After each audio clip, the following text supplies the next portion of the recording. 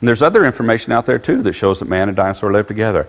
A lot of the Indian things that had uh, in some of the canyons all over the southwest United States, they have pictographs on some of the walls. And here's one was over Natural Bridges National Monument. It looks just like a dinosaur, doesn't it? And this thing was done a long, long time ago, but it was done by Indians, by man. The one up over at the left hand of your screen, that actually came out of the Grand Canyon. What's it look like? It looks like a dinosaur. Were they making these up?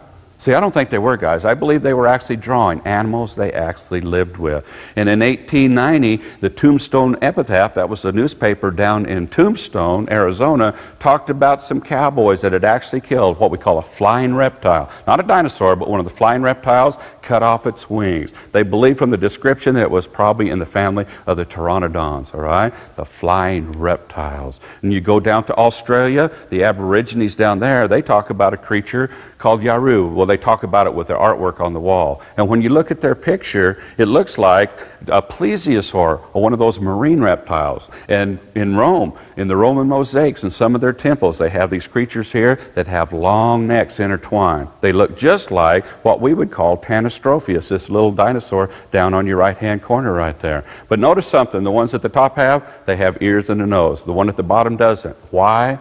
If you guys grab your ears and your nose, what's it made out of?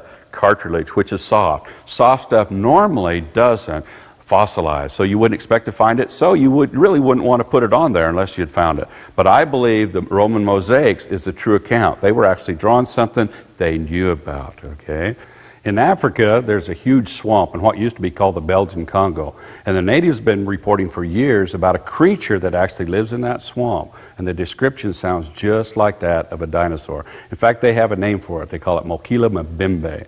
One scientist believed it so much, he was a biologist from Chicago, that he actually went into a swamp on a trip and he came out and he says, We've seen it. And it is a dinosaur type creature. There was another scientist, also a biologist, he went into it. He also reported that they saw it several times and it was also a dinosaur type creature. Evidence is that dinosaurs still might live in some of the remote parts of the world today.